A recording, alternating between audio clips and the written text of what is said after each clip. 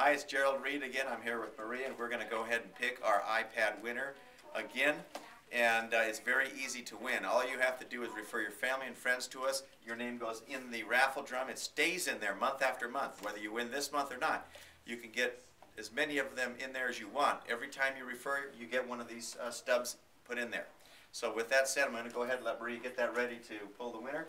Also, just for fun, we'll send you a free pizza every time you refer someone to us. That way you know we got the referral. We'll send you the pizza. You go out and have something to eat on us just for fun. Maria, who's our winner? And the lucky winner is, let's see here. Michael Cooper. Michael Cooper. This iPad is yours. We're going to give you a call right now. Congratulations. Thank you, everybody, for the referrals, and have a Happy New Year.